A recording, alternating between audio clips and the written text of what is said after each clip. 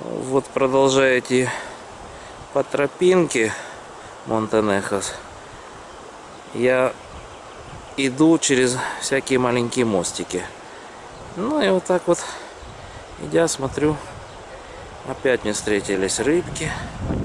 Опять вот эта вот прекрасная прозрачная вода.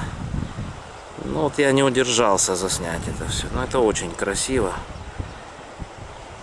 То есть будете в Валенсии, я вам просто рекомендую.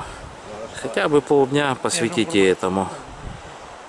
Приедьте в Монтенехос, искупаться, погулять в горах. Все очень красиво. Trucha. Ну иду дальше.